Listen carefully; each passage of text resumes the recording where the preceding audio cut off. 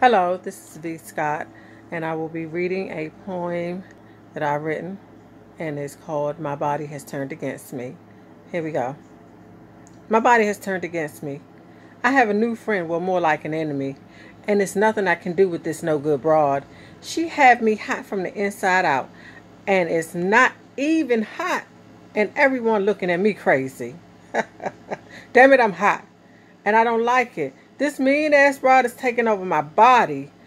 This has got to be a cruel ass joke, is what I thought. But it's reality. This rude broad name is menopause.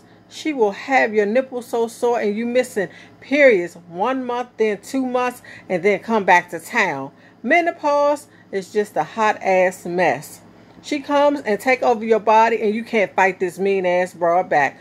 I'm tired of this rude ass broad invading my body.